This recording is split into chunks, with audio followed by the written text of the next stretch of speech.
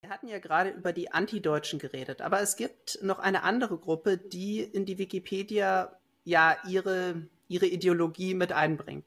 Und das sind die Skeptiker. Über die hattest du ja im Film Zensur, die Manipulation der Wikipedia, schon etwas ausführlicher geredet. Wer sind die Skeptiker und was machen die? Genau. Ja, die Skeptiker sind eine Gruppe, ähm, die auch Dogmatiker sind. Die sind auch als Dogmatiker in der Wikipedia unterwegs. Ähm, sie verstehen sich selber als äh, religionsablehnend, sind Materialisten, so wie sie sagen.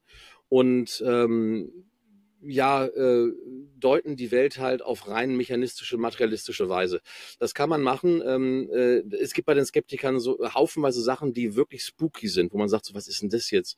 Zum Beispiel haben sie äh, Leute in den eigenen Reihen, die Satanismus ganz toll finden. Also ich meine, Religion lehnen sie ab, aber Satanismus finden sie toll. Äh, äh, was ist da los?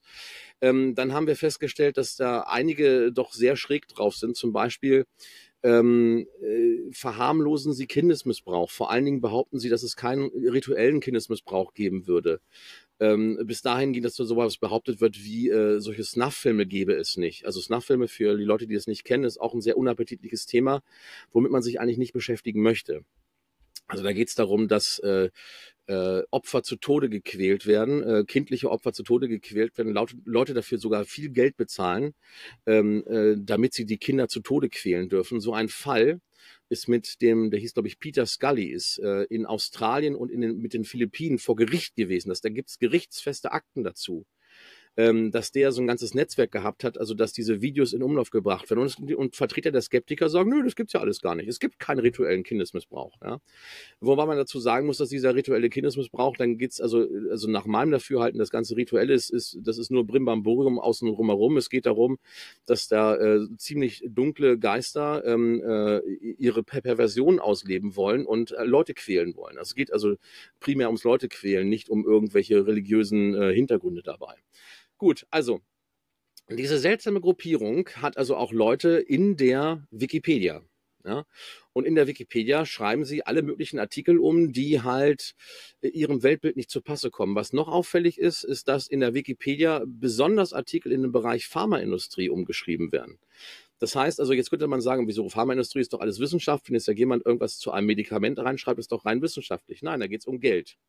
Und wo es um viel Geld gibt, gibt es auch ähm, Interessen, dass man äh, ähm, die öffentliche Meinung in eine ganz bestimmte Richtung lenkt. Also zum Beispiel, dass man äh, der Öffentlichkeit weismacht, dass das Medikament X doch vollkommen nebenwirkungsfrei wäre und dass es eine tolle Wirkung geben würde oder äh, Impfung Y wäre auch vollkommen nebenwirkungsfrei, gibt gar keine Todesopfer und äh, stattdessen äh, gibt es nur positive Wirkung.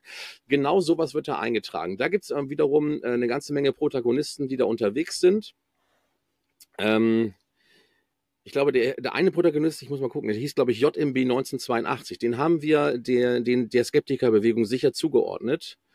Äh, der hieß, glaube ich, in, im normalen Leben Jens M. Bolm war das. Äh, aus dem Bereich Hannover kam der.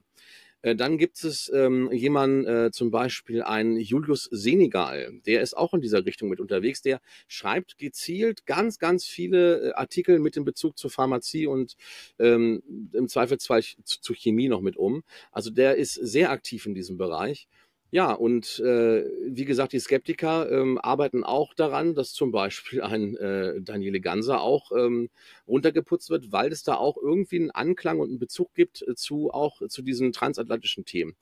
Ähm, also äh, das sind jetzt keine voneinander komplett getrennten Lager, also diese Transatlantifa und dann die Skeptiker, sondern das sind so Lager mit einer großen Schnittmenge. Äh, man ist also nicht entweder oder bei den Skeptikern oder dann bei den Transatlantifa-Typen, sondern das kann sich auch deutlich überschneiden. So.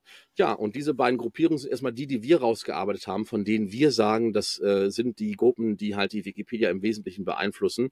Das heißt nicht, dass es da noch andere Gruppen gibt. Äh, die haben aber bisher jetzt also als Gruppe, als solche Gruppe nicht ausgemacht. Wenn da was kommt, wenn wir sehen, oh, da gibt's ähm, so einen Fingerabdruck, der sich immer wiederholt, dann äh, veröffentlichen wir das. Das Wikipedia-Problem ist kein Problem, was sich auf Deutschland beschränkt, sondern es ist ein internationales Problem. Das heißt also, äh, diese gezielte Manipulation der Wikipedia in eine ganz bestimmte Richtung gibt es auch in England, gibt es in der französischen Wikipedia ähm, und zum Beispiel eine Helen Boniski, äh, eine investigative Reporterin aus den USA, die hat das für die amerikanische Wikipedia ähm, und für den ganzen englischen Bereich ähm, hervorragend rausgearbeitet. Und sie hat dann sogar gefunden, dass dann wirklich Leute bezahlt werden. Also das sind also Leute, die geheimdienstlich angebunden sind und die dann ganz gezielt bestimmte Seiten manipulieren. Zum Beispiel hat sich festgestellt, dass also ein ähm, äh, Präsidentschaftskandidat Trump äh, maximal heruntergeputzt wird und ähm, andere Artikel, die halt von den Demokraten waren, äh, da nannte sie das sanitized, also die waren klinisch rein, diese Artikel. Ja, genau das gleiche beobachten wir hier in Deutschland auch. Das heißt also ähm, äh, bestimmte politische Artikel von ähm, den Regierungsparteien sind klinisch rein. Da steht kein Sterbenswörtchen drin über irgendwelche komischen Sachen.